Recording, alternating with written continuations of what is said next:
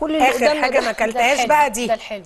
كلمين برضو على دي الخبز. بليلة بليلة بليلة بليلة بليلة بال- بالذرة. بليلة بالذره استنوا يا بس مش جماعة. هتيجي على الحادق بقى في ما خلاص بقى طبق إيه؟ هو كله طبق. عك بقى خلاص يعني كله دخل مع بعض. دخلنا كل الحاجات مع بعض.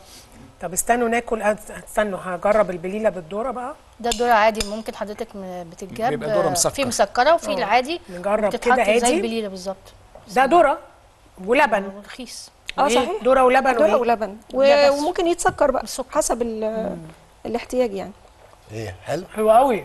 طب الحمد لله. الحمد لله. أنا قلقت. يعني الذره ده انت سلقاه سلقاه ولا إيه؟ أنا مقطعاه من الكوز وحطاه وسلقاه زي ما بنعمل البليلة بالظبط.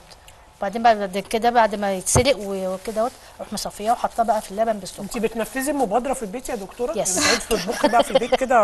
ما هم دي ميزة الناس اللي بتشتغل في متحف الحضارة. على فكرة أنا لازم أقول بس عشان ال- الفريق بتاعنا قلت لازم أقوله. هم هند ومريان وصباح. وصباح. هم اللي اللي برضو كانوا مع الدكتوره سحر دكتور في غنيم كان مهتم. جدا بحضرتك والفريق بتاعك بصراحة. بصراحة م- متعاونين ومقسمين الشغل مع بعض فشكرا. يعني أنا سعيدة جدا بهذه المبادرة. أنا شايفة أنها مبادرة آه، مهمة. شكرا. ناكل بعد كده بعد في البريك.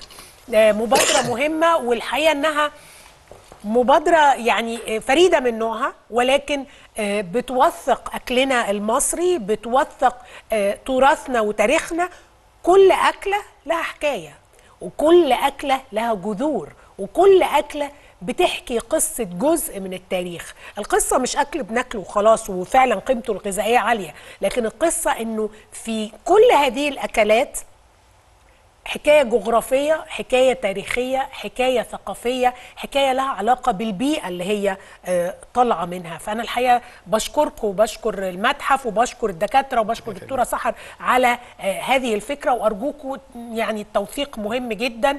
وتقول إيه عن المبادرة يا دكتور في النهاية؟ أنا سعيد إن المبادرة حضرتك استضفتينا فيها وبنهدف إن شاء الله إن المبادرة دي غير ال- ال- الأبعاد اللي حضرتك قلتيها إن يبقى ليها أثر اقتصادي وأثر اجتماعي جيد غير إن إحنا بنعرف بالهوية. ممكن نستخدم بعض أنواع هذه الأكلات آه، في المطبخ المصري الآن آه، سواء كنا عايزين قيمة غذائية عالية سواء عايزين تكلفة اقتصادية أقل بحيث إن إحنا ننشر ثقافة مصر نرجع بيها تاني وده هدفنا في المتحف الهدف الأسمى بتاعنا حضارة مصر ترجع تاني. دكتور بتطمحوا لإيه؟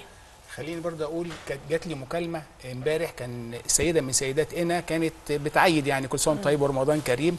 فأنا بسألها سؤال بقول أخبار الزيت عندكم إيه؟ قالت لي لا إحنا ما عندناش مشكلة إحنا ممكن دلوقتي شغالين في المسلوق. فقلت لها أنت عارفة إن المسلوق ده قيمته قالت لي أنا عارفة قيمته الغذائية أحسن كمان من المقلي. يعني ما شاء الله على سيداتنا مدبرات جدا. يعني النهارده أنا مش قلقان إن مثلا يكون عندنا ظروف اقتصادية صعبة عندنا يغلو في بعض الخامات إنما في مقابلها لا إحنا عندنا السيدة المصرية سيده مدبرة بتعرف توظف المبلغ الموجود بأقل إمكانيات ممكنة. اللي, اللي بتمناه إن شاء الله ويمكن ده قريب قوي إن إحنا نعمل موسوعة عدد كامل عن الرحلة المقدسة بإذن الله. عائله مقدسه العائلة المقدسة. آه، ونشوف كانوا بياكلوا إيه لأن دي من 2000 سنة. طبعاً. فدي سهلة. هنشوف في أثناء 2000 الرحلة. سنة ده امبارح. آه ده امبارح. قريب. ده قريب. الحمد لله. أنتوا آه، عارفين. بنطلب بس إن إحنا نقابل آه، قداسه البابا نقعد معاه عشان خاطر آه، نقول له على الفكرة ديت. برضه هو هيدعمنا أكيد. بالخبرات بقى اللي عنده والقساوسة قداسة الموجودة. البابا شخص جميل. ودايما آه، مهتم بمثل هذه الأمور دكتورة نيهال آه، أنا أحب أقول بس إن جنب التوفير والاقتصاد والحاجات الجميلة دي الحاجات دي كمان ممكن يطلع منها مشاريع كتير للسيدات المعيلات وإحنا جربنا ده. آه، كل الحاجات دي قابلة للبيع قبل إن هي تتعمل مشروع قبل إن هي تدر دخل. ولما تدور عجلة الدخل التراث يتحفظ أكتر. صح. دكتورة سحر. أتمنى بس من كل أسرة آه، يعني تشرفنا في المتحف عندنا المتحف القومي ويحضروا المحاضرات اللي هي توعوية وثقافية عشان يعرفوا أصول وجذور الأكل المصري. وإحنا بنعلن عنها على وسائل التواصل الاجتماعي عشان الناس بتسأل ده دايما. صفحتنا. أنا. بشكركم شكرا جزيلا. آه، آه، الأكل المصري. أنا اللي يهمني في ده القيمة الغذائية توثيق التراث وإن إن إحنا نبقى محتفظين ومتمسكين بأكلنا المصري لأنه أكل الحقيقة طعمه حلو جدا وهو ده أكلنا. حد بقى صحيح بقى في شركسية وفي آه، حاجات تانية لكن أكلنا ده هو ده الأكل المصري الأصيل. والفول طبعا. والطعميه طعمية. العدد الثالث فول وطعمية وبصارة وكشري. ساره وكشري. شكرا ونخرج فاصل وبعد الفاصل ال continue والنجم أحمد داوود.